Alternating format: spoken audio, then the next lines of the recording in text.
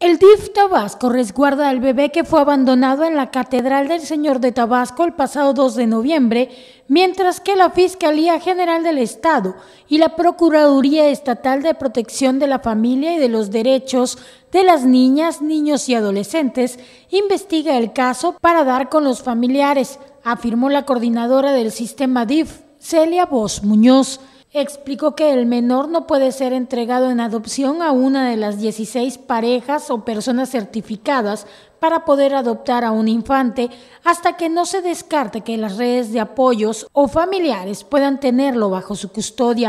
Las medidas de protección lo tenemos bajo resguardo nosotros y se están llevando a cabo la, la Fiscalía, las investigaciones en coadyuvancia con la, la Procuraduría del DIF para, eh, para descartar las redes de apoyo. Si se descartaran las redes de apoyo, pues entonces sería susceptible de adopción.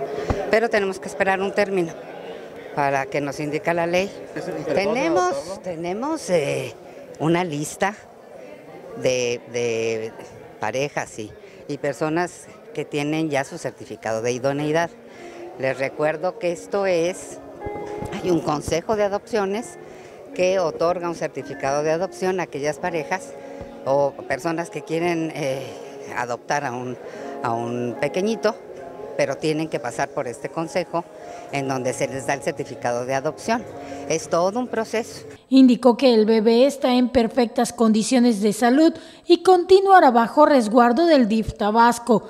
Recordó que en esta situación hay otro menor que fue abandonado en Huimanguillo y también se investiga el caso. Con imágenes de Antonio Guillén para Noticias TVT, Carmen Hernández.